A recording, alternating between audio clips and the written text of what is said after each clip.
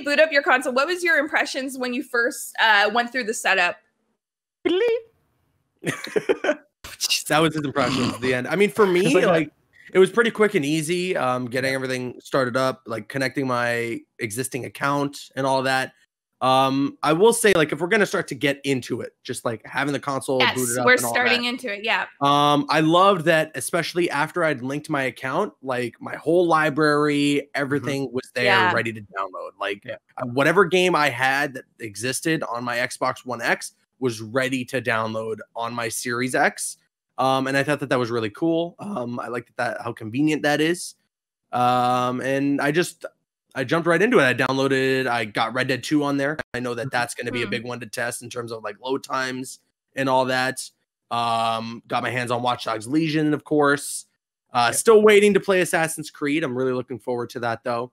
Um, I know That's Dan so though, good. you've gotten to play like a bunch of different stuff and gotten to do like a lot of testing and, and the loading and everything has been something very uh interesting. I saw your video that you posted. Like quick resume Hmm. is the coolest feature It's this wild, console yeah. has Oh yeah, for sure. So Mhm. so my like and, and a few, few people were replying to my tweet about it that like obviously the quick the fact that and Camille were talking about before that the fact that the quick resume is you can hard you can unplug your console and quick resume Yep. like it'll remember where you are, which is incredible. And like that's like those are those are two hands of the incredibleness. Like that's incredible too. But like I when I when I put that tweet out, I wanted to showcase that to me what was impressive was that it's not like it's because that's one thing to save that one game you're on. But to save multiple games is a whole other level of impressiveness. That like, and that's Yes. what I I, I think most people understood when I was showcasing that. It's like because again, we've seen that in a lot of you know, uh, saving one game and just rebooting it really quickly is you know, ha- ha- it, it almost it barely feels different than you know putting a console sleep mode and coming back on kind of that kind of thing, Mhm. right? But being able to just like, and what I showcased was I was playing Forza, just like in a full game, and then like Assassin's Creed, and I switch over and I'm just back right right where, where like that. Nothing does that. Yes. Not that we've never seen that before. That's just Yes. crazy. It's like in five seconds. Like, your PCs don't even do that. Like, Yeah. as Oh. far as I know, I mean, I'm not, I'm not like a, a nut about that stuff, but as far as I know, like even, even your PC's not really capable of some things like that. So this is, uh, this, I, I- I've said this to a couple of people, and I think, uh, I think I back this up now 100% when I say that this is probably the biggest jump we've had in tech from one console Mm. generation to the next. Um, just in terms of like the technology and the sheer power of the consoles not just in terms of fidelity, but now having the SSDs, having something like quick resume for the Series X, it's a game changer. You know, to have the ability to unplug my console, maybe bring it to a friend's house Mhm. and boot it up and be playing Assassin's Creed and load in to the literal exact moment where I was last playing. Not from like some saved checkpoint, not like having to boot up the game and start it all over again. No, literally I click Assassin's Creed and I am where I was standing the last time I was playing it. That Yeah. is insane. And to then be able to do that for multiple games, that's crazy. That's so cool. Yeah. Have you yeah, I guys think tried? I think you touched. Uh, I was just gonna say, I think you touched on a, a great point. There is that this generation isn't just changing how games look or how games play. It's just quality of life all Mhm. around. The fact that to boot up the console takes like two seconds Mhm. before. By the time like you grab your controller, hit the Xbox button, you blink and it's on at the dashboard, and you're just in there. And then yeah, that extends all the way through to, to quick resume. That you can have five games up in stasis and select which one, play for 15 Mhm. minutes, bounce to the next one. It, it's it's it's awesome, and it's something that you didn't even think about going into this generation. Like, oh, why would like how is that a major selling point? Well, once you have it, yeah, it becomes a major selling point. Right. yeah, and and to me that's that's the future of of consoles right now right? Is that like we're only seeing these these incremental increases that you know the, especially this year where it's like there really aren't those killer apps right? Like you have those things i mean you got your spider-mans like there's things that are like that are really cool but like without you know like in terms of xbox right? You don't have your halos you don't have these games that are like whoa these are like genre defining game changing right? There's a lot of neat stuff like cyberpunk isn't even launching with anything right? Like there's there's nothing very clearly like this is the one that's going to change everything and you need Yeah. to buy the new console to experience it so because of that you know it's this weird middle ground where it's we have a slight upgrade. Um, you know, slight might be underplaying it. Certainly, it's it's a, pr- a relatively major upgrade. But because the, Yeah. the it's the games themselves that you know, i- in this episode every console that we're not gonna for, for we're not really gonna see these consoles like full power for another few years. Uh, and that's same with like Mhm. 360. Like even 360, like look at the, the juice they were pumping out of Xbox 360 by the end of life. Were like some of those games, I can think of like Halo 4, like Halo 4 for its time on 360. Like you play now, you're like, how the heck did they make this game on 360? Like Yeah, they, they, they're going to do incredible things with these consoles in just a few Mhm. years. But when we see that, I don't know, is Cyberpunk going to deliver that for us? We don't really know yet. Like things look great, but we're, we got to wait for those like killer apps and those those brand new games like made for these consoles to be like, Mhm. whoa. I agree and with that's you. the thing. Yeah, I and, I like pointed it out last last week. Yeah, sorry, ahead, sorry, ahead. Yeah, I feel like you're absolutely right. I feel like last gen was, or what we've seen previously was all about how far our graphics can be pushed, right? And we've reached a point where Yeah. we can't really do any more than that. Especially now, you have to have a 4K TV to really, really utilize any of that technology, and you still have a lot of gamers that do not have that, right? So Mm-hmm. Mhm. how are you going to push in other ways? And it- it's such a refreshing time because now they're looking just outside of graphics. What we, can we do? And with Xbox, with Quick Resume, like that is one of the smartest things. And you know, Dan, you mentioned it before. We were talking about this before the podcast started. I had a power outage um, when I was playing Assassin's Creed Valhalla on my Xbox Series X. I was pissed off because I was on a roll. There's like this dice game that you play. It's a mini game in the in Assassin's Creed, and I won like three times in a row. And I I thought I was gonna get my fourth win, and my power went off, shut down my Xbox, and I was freaking out. Loaded up my power, my Xbox Series X when power came back on, and it resumed right where I left off in the That's middle of that mini game. And it was it was just so refreshing because I had to change how I look at things. Like when you think power outage in playing a game, you're like, oh, that's it. It's over. Like I'm gonna lose that file. I'm gonna have to replay that level. You know, you think all of those things. It just shifted my perspective. I'm like, oh my God, no, like I, I could just pick up right where I left off. Like, why didn't we have that before? There must have been the technology to do it. And maybe the demand from gamers SSDs. wasn't there, right? I think we were so fixated on graphics. That's that. That's what a lot of companies uh, focused on. Now that they have, they can't focus on that anymore. They're expanding outside of that, and now they're showing us other things that we could be excited about. And Quick Resume is one of them. I don't know if any of you actually tried how many games you're able to Quick Resume at once. Did you? Did Yeah. Five. Not, Five was it- mine. I think it's like Five. five. Yeah. Yeah, which is insane. And you, Wow. No, I, I think the argument, because some people don't understand the benefit of quick resume. And for me, who's getting busier with work, um, you know, and life in general, like a lot of us, who sometimes play multiple games like at once. So, for Yeah. example, um, I'm still playing Watch Dogs, but then I'm also starting as well. I started playing Assassin's Creed, so I go back and forth between those two games. Mhm. for me quick resume is like the perfect perfect uh, tool for that for me to just pick up where i left off without having to really think about what i was going to do next because for me especially when you're playing an adventure game or like any game that has any rpg elements to it you're like you plan ahead or like okay i'm going to go see this guy before i do this mission but then you have to leave the house or something comes up you got to go eat you turn off your game and then you walk away. And then you come back a few hours later and you're like crap what was i supposed to do at this moment? What was i supposed to do? Now i could actually go to that mission just leave and come back and i'm right in front of that guy like you Mhm. know like so you really don't have to think too much of where you want to leave off now you just have to think of when you want to take your bio breaks because everything boots up so quickly No, seriously. Seriously, it's it's the it's the coolest feature for sure about the Xbox Series X. I know that there's a lot of talk about well, we're waiting for the games, you know, and and that's Sure. that's certainly an argument to make is that the Series X, especially not launching with Halo, has put it in a position where you could play Assassin's Creed, you could play Watch Dogs, but those are cross generation, right? You can play those on on any console of your choice.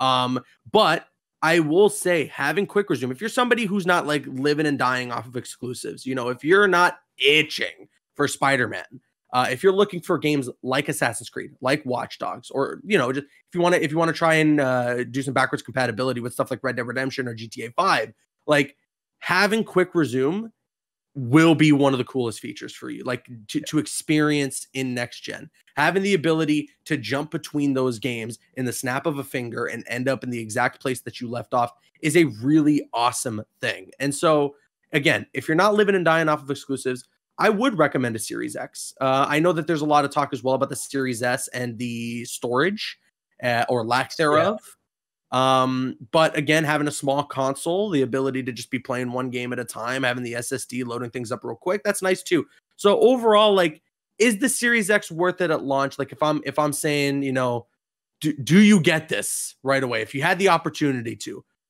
I'm not a hundred percent sure, but I'd say if you're looking forward to a couple of games that are going to get some major upgrades for next gen that are cross generation, I wouldn't not recommend it. You know, having the Mm-hmm. ability to to see these games at the at the best that they perform, Mhm. having that quick resume, having a couple of the other features that I, I- for me, I love the interface of Xbox um and their consoles.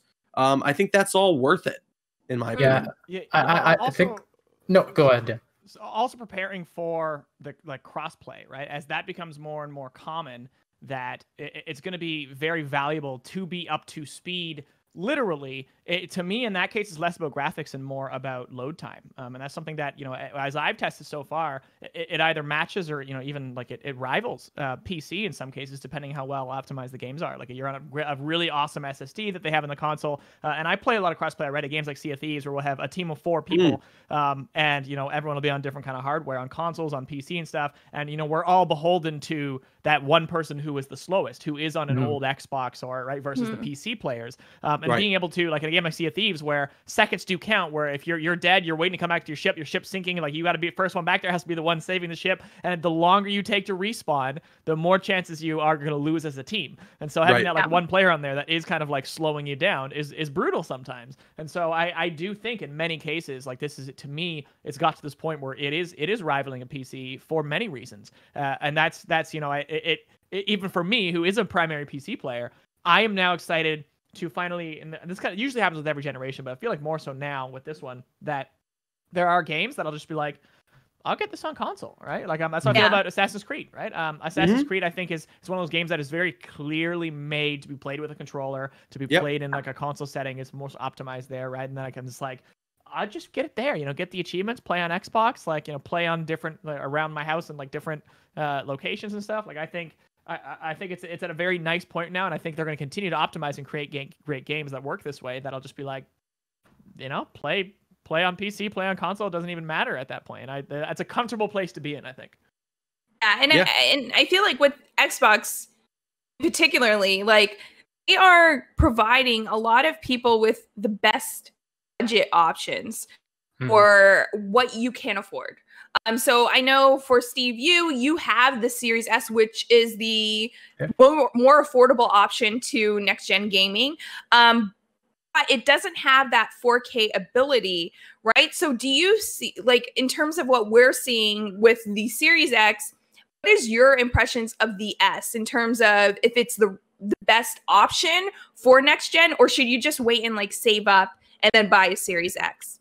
I think it all has to come down to like who you are as a player. Um, if you're that person that needs that like cutting edge tech, loves 4K, um, needs like the increased storage size and all that, yeah, definitely go with the the Series X. But the the way I look at the Series S is that it's an optimal Game Pass machine. Um, uh, we brought up the the limited storage size. On the box it says 512, but in reality, I think it's like 346 uh, after like the OS and system files and all that. It's not great, but if you're coming in downloading like a couple games off Game Pass every month, or because it's a digital only machine, you're just downloading a couple games every month and then kind of sw- swapping through them. That's totally Yeah. manageable. You're just not going to have your full library on there, so you have to ask yourself, is that important? Um, also, it you- has that same slot in the back for the the card, right? The, Yes. uh, okay. The the Right. external SSD. But then you also get into the conversation of well, if you're gonna buy that, you might as well Hmm. just buy a Series X. If you're investing Okay. an additional two hundred dollars on top of the console price, Right. might as well just pay like another like hundred dollars and get the Series X. I, I believe. 100%. Um, but at the end of the day, I still think that it's a super great entryway just into the Xbox ecosystem, and that's what Microsoft's all about. It's bringing you into the ecosystem. Um, just the next gen ecosystem in general. Like Yeah. it's, it's a cheap console. And and I do agree. I mean, yeah, like obviously you want to have like one terabyte, be able to download like Sure. 20 games and have Yeah. them all accessible easily. But at the same time, you know, if you're somebody who who plays one game is, and is done with it after you Mhm. play it, then like yeah, just go get Game Pass or get whatever games you want to get. Whenever you finish them, uninstall them, go to the next one. Like I feel like that option is totally available for you, and for for the the price of the console, um, it's it's not too bad of a of a workaround. Yeah, uh, Hunter Slasher 13 in chat says that they're getting an Xbox Series S and it's going to be their first Xbox ever. And Nice. and you're you're absolutely right. You two you you hit the nail on with the hammer there. Um it is the best entry for Xbox. If you never had an Xbox console before, you could get this console, the Series S plus Game Pass and you have a crap ton of content that you could play Oh, yeah. uh for for years. like there's so much that you could play there and with you know optimized for Xbox, you're still gonna get the uh, Xbox Series X. You're still gonna get those titles on the Series S that you could play that are backwards compatible and that are have those um, rendered uh, graphics that are going to make it look beautiful on the Series S, which which is good, right? Like we discussed before at the start of it, it's much more than just the graphics, right? It's the smoothness, the the Mhm. high performance, and I feel like from what I've seen, Steve, you're still getting that from the Series S. No, exactly. You're just not getting 4K. Um, Yeah. but at the same time, if you wanted to get like say, if- if you had the TV that's capable of it, four or if you wanted to get 120 frames per second, you would already have to dip down the resolution anyway to something comparable with the Xbox Series S. So at the end of the day, you're not taking that big of a hit. Um, so uh, again, I, I think that's it's a great machine, and I'm shocked at the pricing of it. If you compare it, if you go back and compare it to the Xbox One, which cannot compare in terms of power, Yeah, we're already paying upwards of like five hundred dollars. Granted, you were buying the Kinect as well in that box, but the fact that you're getting something for a fraction of the cost that can run this well is shocking. to me. And listen for me. Uh, I think pretty much ever. Maybe maybe when I was a kid, this was something that was important for me. But for me now, graphics are the the last Mhm. uh, like on the bottom of the list of priorities when it comes to a game that I'm excited about. Obviously, I want a game to look good. Um, but some of my favorite, like for instance, one of my favorite games of all time, Borderlands, or even Tales from the Borderlands. Sure. Um, these are games that, like by definition or by standard, don't necessarily look amazing graphically. They have their own style, but they don't look like incredible. But it's about the gameplay and it's about the performance and what these next gen consoles can provide in terms of performance. Uh, especially if we're talking about Borderlands. Borderlands 3 had some issues on console. I think it still has some issues Mm. on console. I'm really excited to try it on on next gen to see what those issues are are going to how they're going to perform now or how the game's going to perform now because I know that on PC a lot of the problems that I had even playing on an Xbox One X were like non-existent. And so if we can have the power or even a fraction of the power of a PC put into a console now, I imagine that a game like Borderlands 3 that initially suffered a little bit on console will just perform like it should, you know? And so having the SSDs and and as well just being able to load into a game in like 2 seconds is awesome. You know, even Yeah. without quick resume, like putting quick resume aside, I can boot up a game and get into it fairly quickly. You know, you've Hmm. seen a lot of the comparisons online. I downloaded Red Dead 2, although there's still qu- it's a Rockstar game, so it's gonna Sure. take it's gonna take a minute to load into, but it's significantly faster Mhm. than if you're playing on the current generation of consoles, and that's awesome to me. Yeah, I, I started my playthrough of Watchdog Legion on the Xbox One X, and that game pushes, I would say, upwards to a minute, over a minute in, in between like fast travels. Um, switching over to even the Xbox Series S, that goes down to like 15, 20 seconds. Such an Mm. improvement. Yeah, it's it- great. That's the thing is that, that we're seeing in this transition is that sure you're not getting that killer app like obviously I have a Halo sized hole in my heart right now, but it's just the fact that it's gonna it's just gonna improve all your games. Every single Yeah. game that you have on Xbox One right now, they're gonna be improved. Yeah, Dan, and, what else you have you been playing? What uh, like or what else have you been testing out? Uh, what else? Uh, my Like, you, you got Watch Dogs, you got Assassin's Yeah. Creed. uh, I haven't tried. You've been Dogs playing Sea of Thieves. Okay. Yeah, I pl- I tried tried a bunch of Sea of Thieves. Um, not not heavily, more just kind of like ran around and checked it out. Um, honestly, most of my time has been spent on on Valhalla. Like I s- played a Mhm. ton of Valhalla. Mhm. Um, it's it's just so fun. like I'm I'm just having Cool. such a good time I- on that. That uh, yeah, I, I'm I don't think I really spent much time on anything else. Really, those are my those are my heavy hitters. Forza a little bit Forza. you noticed you noticed in Valhalla, and I'm not too sure if this is attributed to the Series X in particularly, or just you know Ubisoft how they created Valhalla. But I find the load times in terms of when you die, that was one of the heart aching things of any Assassin's Creed game is loading back in and sticking in that Animus screen Mm-hmm. with your character just walking around in the dark. Oh, yeah. Takes forever in Odyssey, Mhm. takes forever in Origins. I found with Valhalla, time is cut down very, very much. Like it goes by really, really quickly compared to any of the other Assassin's Creed games that I played. Mhm. Yeah, everyone will remember like what you're talking about. Those those screens where you're just in this void of space and you're just running around for two minutes. I, I'd use that Yeah. time to just be like, I, I always fired arrows in that, right? I would jump around, Yeah. I'd spin around, I'd be shooting arrows, like kind of warming up. Like that's like, you're right. I totally, I totally forgot about that. How long that took until I remember that. That I'd be like, Yeah. well, I, I guess I'll just warm myself up, right? Like that's all I can do. And and I'm Really sure just- we're all yeah. all guilty about this, but like you just pull up your phone, you go on Twitter, you scroll and everything. Mhm. Now, especially in in Valhalla, by the time I pull up my phone, open it up, and go to Twitter, I'm already back in the game, and I'm like, okay, why did I even pick this up? yeah. like- yeah. It's crazy. And, th- and that's the one thing we really have to look forward to with how fast this console is and with quick resume is because now you think of what's capable like what the studios have in front of them in terms of hardware and what they could work on for future titles. Like dan mentioned earlier you're really not going to um, see the full potential of these consoles in a year in maybe two years from now. But when a studio has real time to develop a game specifically for something like the Series X, then you're thinking of like the immersion that they could really build into it because they don't have to deal with those load times at all.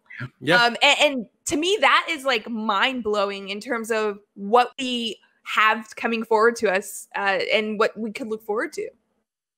like Halo and free Yeah. multiplayer, which is dope. Halo.